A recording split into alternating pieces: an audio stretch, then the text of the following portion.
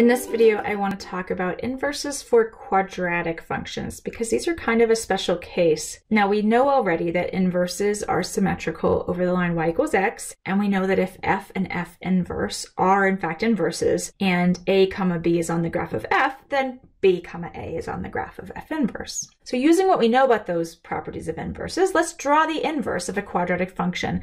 I've got a function f of x equals left paren x plus 2 right paren raised to the second power plus 1. I have a table of values for this graph, and as I read off this table of values, I'm going to go ahead and graph the reverse of that set of points. So the first point I have is at negative 4, 5, so I'm going to graph something at 5, comma, negative 4. The next point is negative 3, 2, so I'm going to graph something at 2, negative 3, the next point on f is negative 2, 1, so I'm going to graph something at 1, negative 2. The next point of f is negative 1, 2, so I'm going to graph 2, negative 1. The next point on f is 0, 5, so I'm going to graph something at 5, 0. 1 comma 10 doesn't fit on my graph very well, so I'm going to leave that one out. Now, the resulting graph is the graph of a quadratic function, but it's on its side and opening up to the right. It does look like a nice inverse for the graph of f.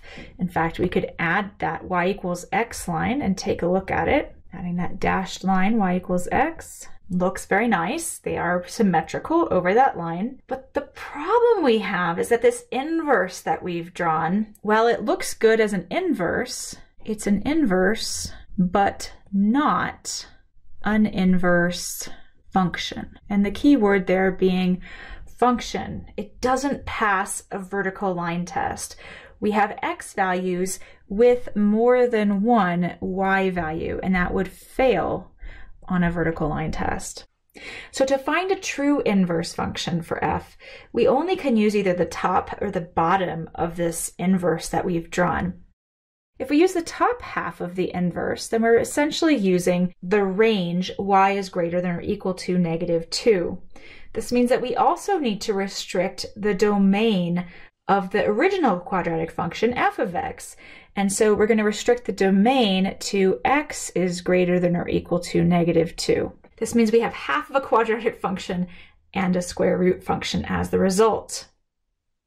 I've actually drawn the square root function for you in the graph below. It is g of x equals the square root of, under that square root is x minus 1, outside of that square root is minus 2. We also have a set of points for this, 1, negative 2, 2, negative 1, 3, negative 0.586, I'm rounding, 4, negative 0.268, again I'm rounding, and 5, comma 0. We can take these points and reverse them just to make sure we believe that this works. So 1, negative 2 becomes negative 2, 1. 2, negative 1 becomes negative 1, 2. 3, negative 0.586 becomes negative 0.586, comma 3. 4, negative 0.268 becomes negative 0.268 comma 4 and 5 comma 0 becomes 0 comma 5. If we connect those with a smooth curve, we can see that we are in fact getting the right half of the original parabola and including the y equals x line we do find that the graphs are symmetric over that line. Now, this quadratic graph doesn't work for an inverse in its native form because of a property we haven't talked about yet, and this is the property of being one-to-one. One-to-one is exactly opposite of a function. So for a function, for every x, we need exactly one y. For a function to be one to one, for every y value, we need exactly one x value. And so in this case, this original function f fails at being one to one.